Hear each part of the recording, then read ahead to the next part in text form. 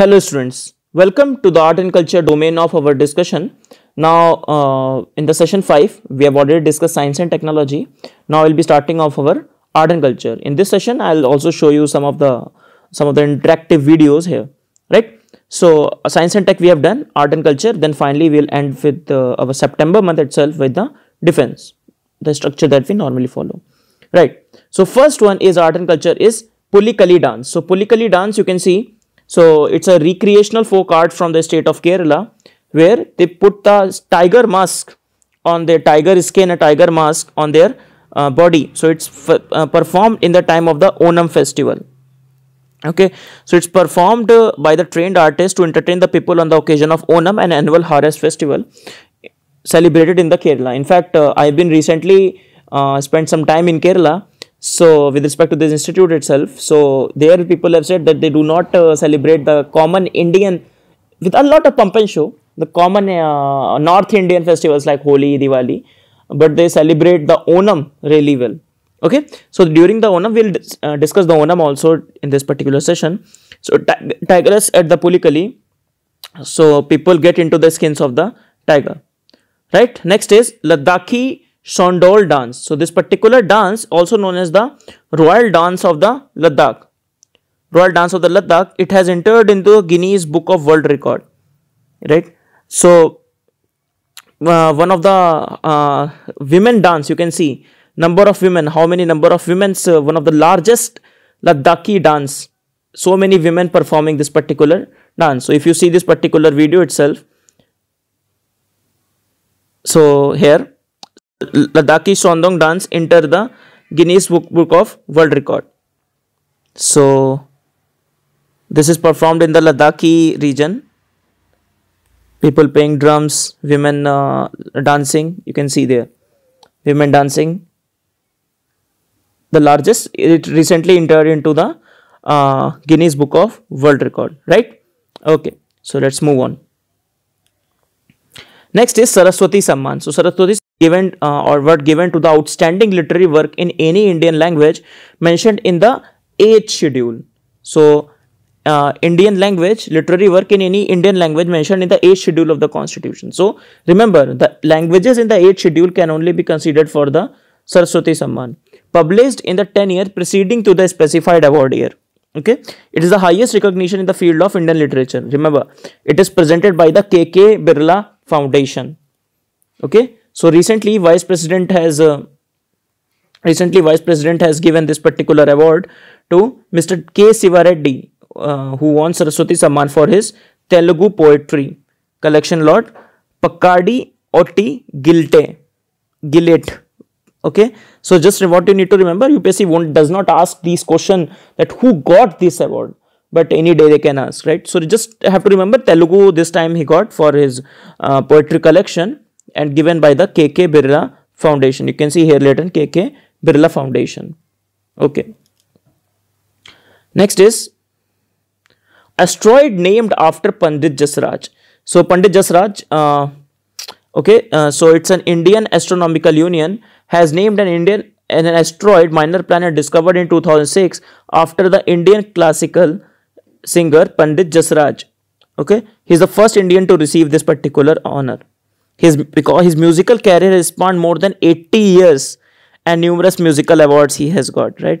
So this particular asteroid you can see the location on the nasa. So it is known as the pandit jasraj. Okay? So earth mass uh, in between mars and the jupiter it is located. This particular is doing its round. Pandit jasraj. Here. Right Next is Nuakhai. So Nuakhai is the harvest festival of the Odisha, also known as the Nuaika Parab or Nukakhai Bhedghat. So we need, just need to remember Nuakhai. These names uh, relatively local in nature. So Nuakhai, if the question comes, so remember it's a harvest festival of the Odisha. Okay. Next uh, here, here, so particular sand art is also made for this uh, particular festival. Okay. So uh, some story, some uh, background story. It has so Nuakhai name suggests Nua means new and Khai means food. So harvest festival. It's a festival to celebrate the newly harvest uh, food by the farmers. and um, it is said that the some of the stories that they traced to okay so it traced uh, origin to the vedic period where the sage of the rishi used to talk about panch panch yagya one of them was param uh, pralambana yagya which is means cutting of the new crops and offering to the mother goddess However, it has lost some significance and finally from the 12th century itself, 12th century AD, it regained its significance when the idea of the food security has come. Relevance of the agriculture for the economic development of the state has come. Then these harvest festivals have become more relevant. That is being started being celebrated. Next is Firoz Shah Tughlaq. So first of all, uh, as, we, as I always tell you, this, this is uh, just to give you a window to your static syllabus right so you should prepare Firoz Shah Tughlaq about him uh, in the mid from the medieval history so why uh, this topic has been covered because uh, in this particular month uh, because the demise of the Arun Jaitley the Firoz Shah Kotla Maidan has been renamed as the Arun Jaitley Maidan. So that is why Firoz Shah Tughlaq, many of the articles have come in the Indian Express and other newspapers about the legacy of the Firoz Shah Tughlaq. Okay, so British called him the father of the irrigation department because of the many gardens and the canals that he built. Uh, his contributions for example he come up with the Diwane Khaira that is office for the charity Diwane Bandagan that is department of the slave. He established sarais for the benefit of the merchants and the other travelers. Okay? So legacy of the Firoz Shah Tughlaq, uh, 14th century ruler who built the Kotla in the Delhi okay so in his autobiography uh, Futuh e Firoz Shahi Firoz Shah Tughlaq described himself, so that means he has written his own uh, um, autobiography. Among many gifts which God bestowed upon me, his humble servant was a desire to erect a public building. So I built many mosques, co colleges, monasteries. I was led to repair and rebuild many edifices and structure of the former kings and ancient nobles, which has fallen into uh, decay. So for that, he built Firoz Kotla, he built uh, Hauz Khas, Suraj Kund, and many of the places. He repaired, sorry, he repaired uh, Qutub Minar, Hauz Khas, Suraj Kund. Suraj Kund Mela also happens now in Haryana, very famous uh, gathering of the people. Okay. Next is, uh, so Firoz Shah, it is said, it, one of the analysis of the historian has said he is able to create a multilingual, multicultural space by providing patronage to the poet, musician, various linguistic communities but uh, you should prepare from the medieval history perspective Firoz Shah Tughlaq. Right. Coming to the next uh, uh, topic that is Bathukamma festival. So Bathukamma festival is a festival of the flowers. Every year it comes into new because it's a festival celebrated every year, right? So it's celebrated in Telangana. Uh, you can see many of the flowers, women uh, associated with it. So these are the flowers. So when the uh, it is a time of the year when the youngest state gets together and celebrate the floral festival Bathukamma, the embodiment of Telangana's rich cultural identity. It's a nine-day festival. That is why it is relevant.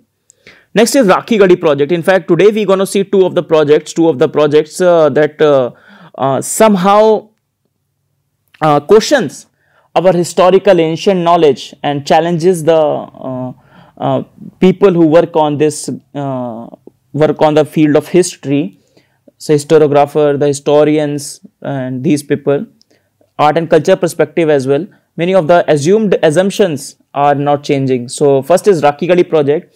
So successfully sequenced the first genome of the individual from Harappa.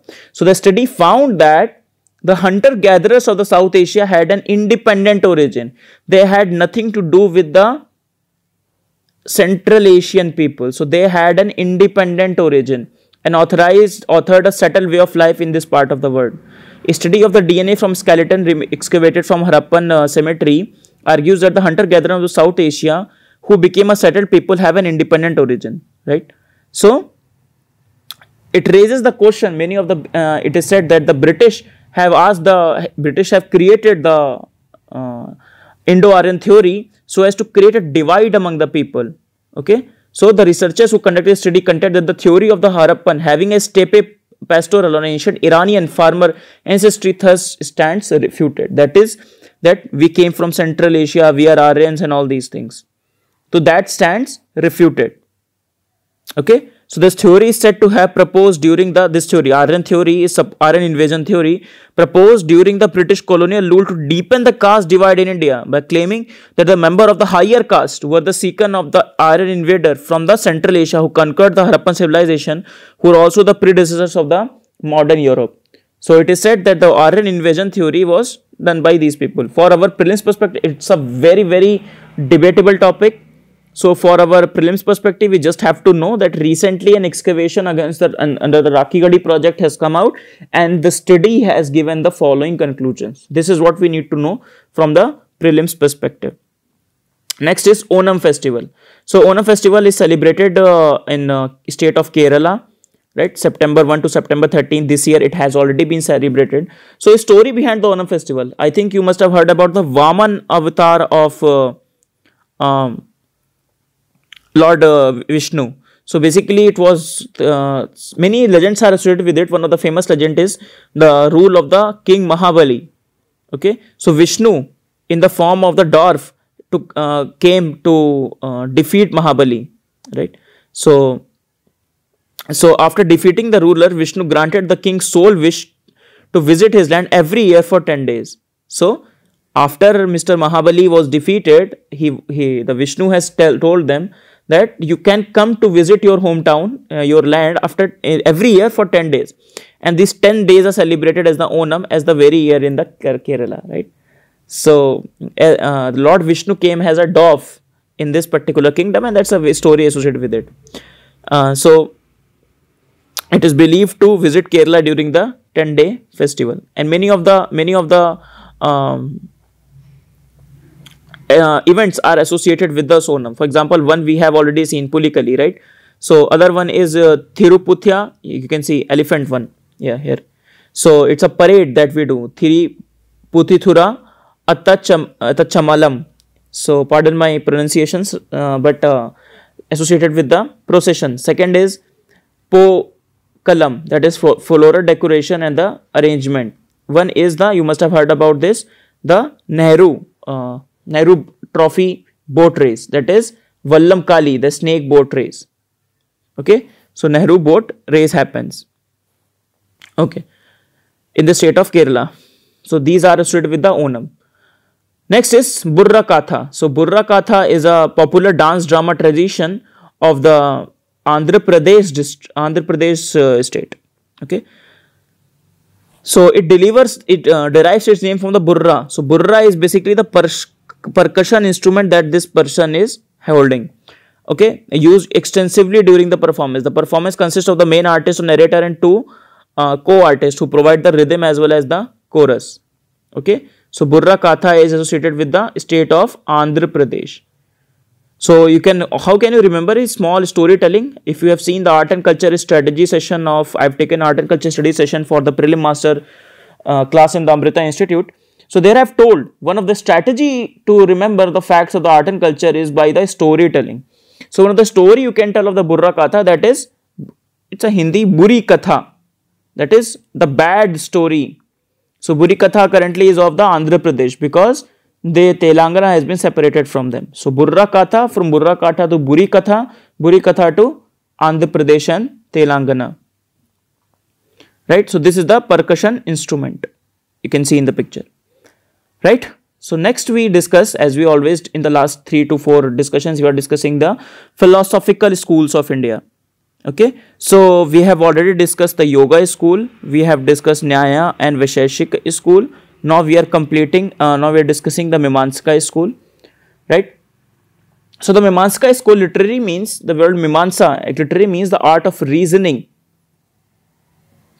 interpretation and the application the school focuses on the analysis of the text of Samhita and Brahmana, the portions of the Veda. I hope you have read about the Brahm, uh, Sam, uh, Samhita, Brahmana and Aranyakas of the part of the Vedas. They argue that the Veda contain the eternal truth and they are the repository of knowledge. So obviously they are the orthodox school of uh, Indian philosophy. They believe that the highest authority is given to the Vedas. So, if one has to attain the religious merit, acquire heaven and salvation, one has to fulfill all the duties which are prescribed by the Vedas. To say, whatever Veda says is eternal truth and you should follow whatever Veda says, then only you can achieve the salvation that you want to achieve. Okay? So that is how uh, we can see the roots of the ritualism in this particular philosophy so the text that describes Mimamsaka philosophy in detail are the Sutra of Jaimini. That is why Jaimini is, Jaimini is said to be the founder of this particular philosophical school, which was supposedly composed in 3rd century BCE. Right? One of the greatest proponents are Sabar Swami, Kumaril Bhatt and Prabhakar. So if the question comes, the Prabhakar or Kumaril Bhatt or Kumar, uh, Sabar Swami or Kumaril Bhatt, they are associated with the Mimamsaka school. Mimamsaka school. Right? Okay. So they argue that the salvation is possible only through performing the rituals, but it is also necessary to understand the justification and the reasoning behind the Vedic ritual. Okay. So Mimamsaka school argue about the that one must understand the justification behind the Vedic ritual and they try to give a philosophical justification of the rituals. Okay. So it is necessary to understand this reasoning if one wanted to perform the rituals perfectly, it will allow them to attain the salvation. One's action were responsible for their merits and demerits and a person should enjoy the bliss of heaven as long as the meritorious act lasted. Okay. Few of the other things with respect to Mimamsaka school. So the main focus of the philosophy was the ritualistic part of the Vedas. Right. Then here it is important, it legitimizes the social distance between the proper class. As they say that the most women do not understand the ritual property, hence they need the assistance of the priest. And from there, the priesthood, the problem of the priesthood, we can see in the many of the social economic movements of the modern history, they are aimed to remove this priesthood, the dominance of the priesthood. And the philosophical moral justification comes from the Mimamsaka philosophy. So this used as a device by the Brahmana to maintain the clout over the people and they continue to dominate the social hierarchy. And this is what the total Mimamsaka philosophy we need to keep in mind. Right? Okay. So quickly we move to the next topic that is Mithila. Mithila painting or Madhubani painting is basically uh, associated with the region of the Mithila that is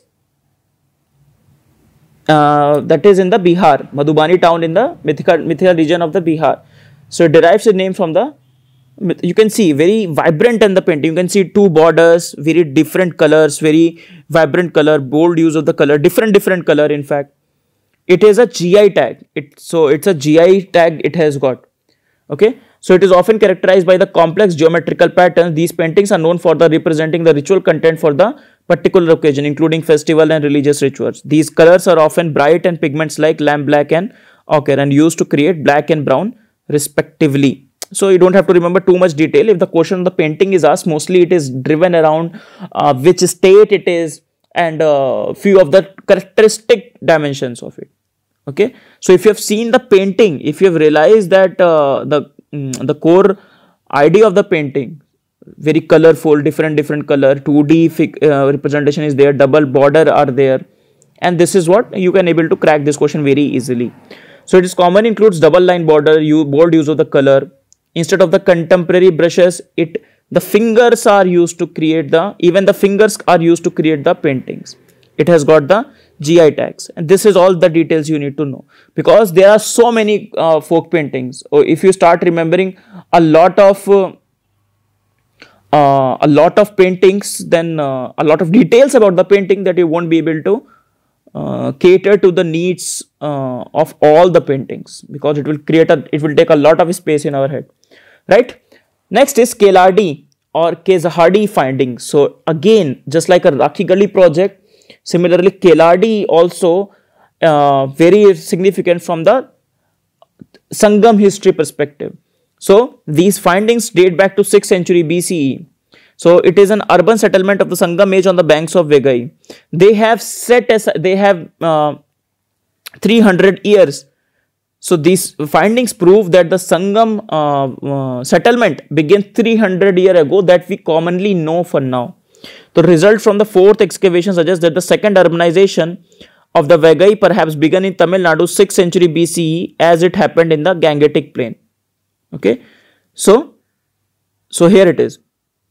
So new finding in the report released by Thursday by the minister have placed the Keeladi artifacts about 300 years earlier than the previously believed 3rd century BCE. This is the location on the Vaigai river and uh, this much is relevant for our prelims perspective. If you want to know more details about this Keeladi excavation, I'll suggest you to go and see this particular video from our other faculty, uh, Shiva sir. Really beautifully, he has explained many of the roots of the Tamil culture because he belongs to the southern India. He will explain you many of the details and you can find this particular video in our uh, uh, YouTube channel itself. So, he has covered in very depth the Keeladi, the roots of the Tamilian culture. For now, we need just need to remember it is related to the Sangam, Sangam the location, Tamil Nadu, Vaigai river and that's it. That's all. Uh, some of the details of the Sangam that you need to remember. So Sangam, you can read uh, about Sangam literature and all the things in your static art and culture section or the ancient history, whatever you classify it. So you have to read about the first Sangam, the second Sangam, the third Sangam. Uh, one of the question in the mains has also asked that they do not represent the political history of the time very correctly. However, can, one can get glimpse of the socio and the economic history of the place very uh, perfectly from that, that time. Right.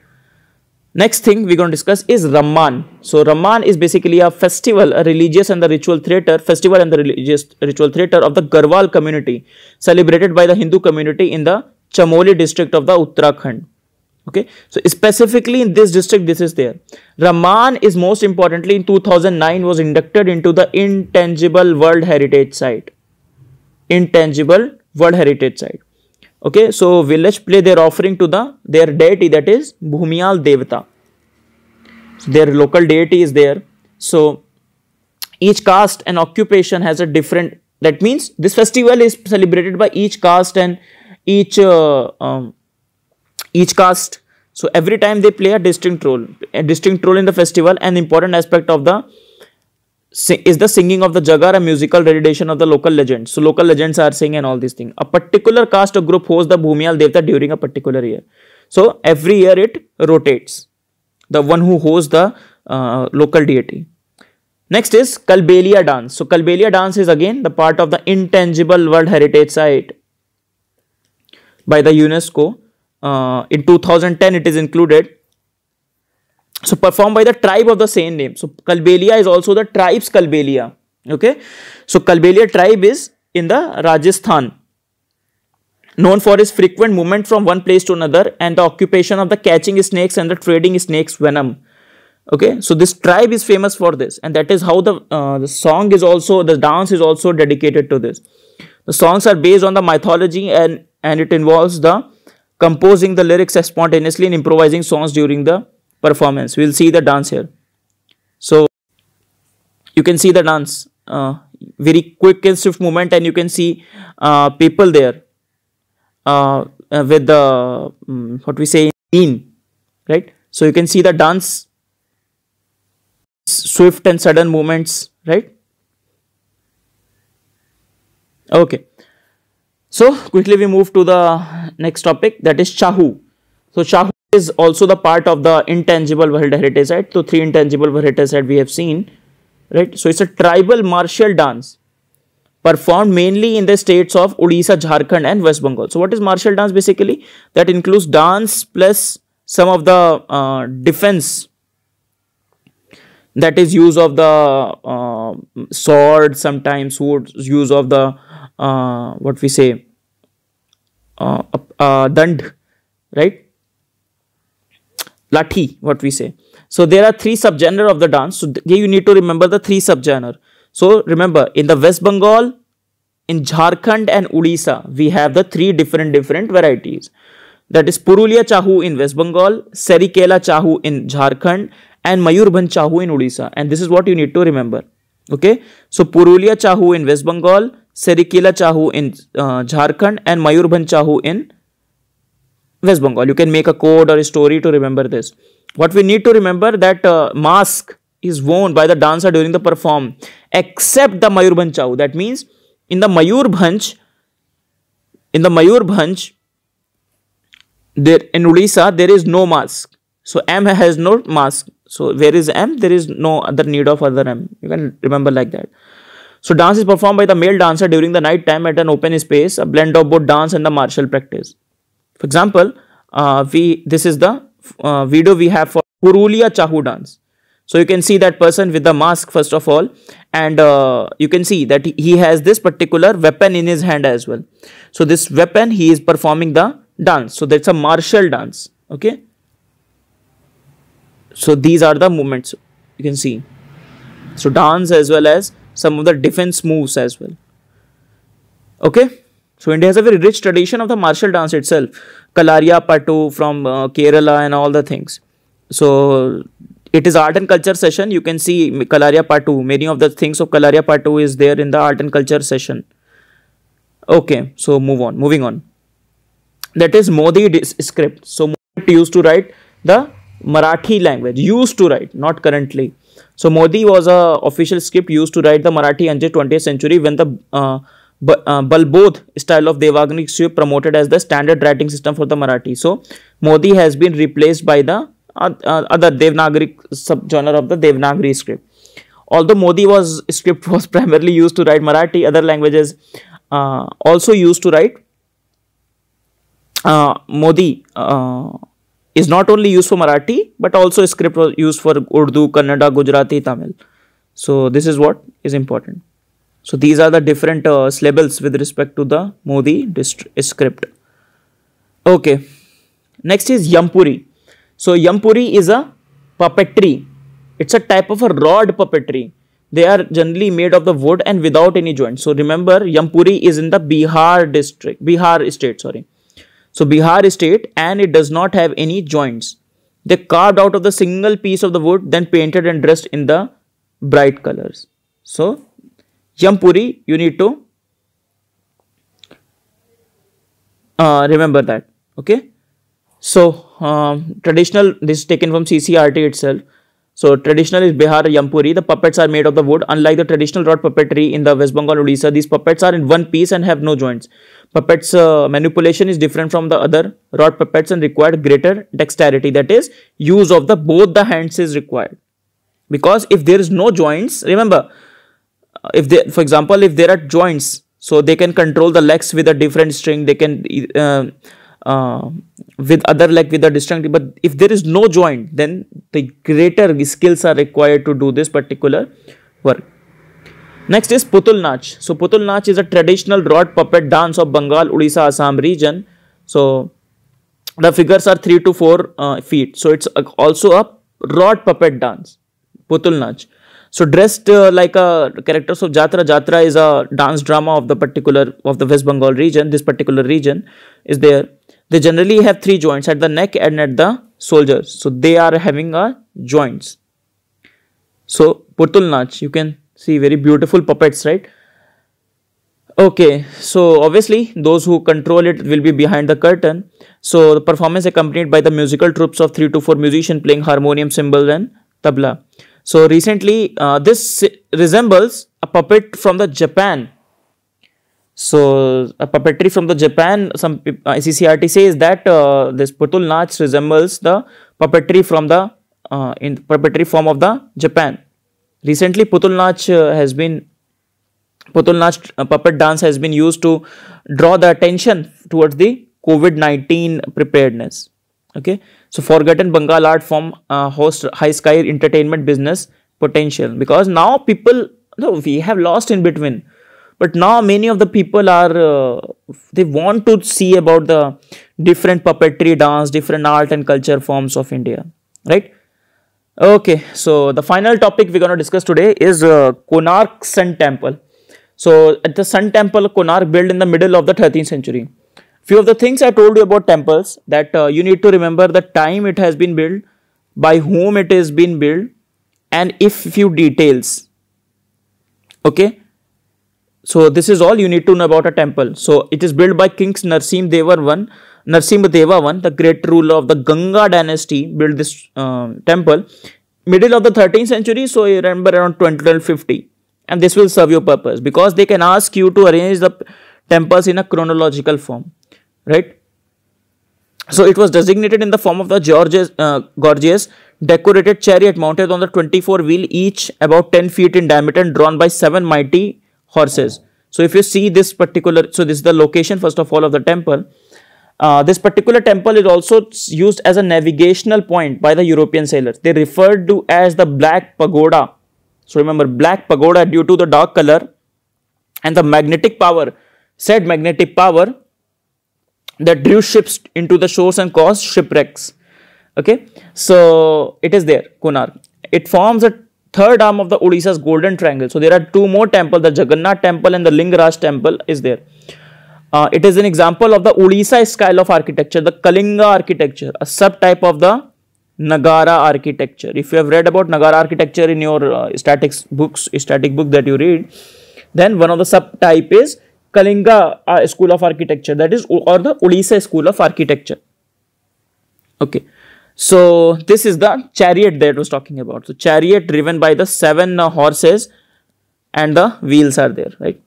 it is to be included in the iconic list, iconic site list. We will discuss the scheme whenever it comes. But uh, Konark temple is really famous and very uh, spiritual place. Okay, so we are done with the art and culture session of our this month, September month. And the last session of our, last part of our September month, we'll be discussing, we'll be finishing our session 5 and the defense portion, right? See you till then. Uh, see you in the next class. Thank you.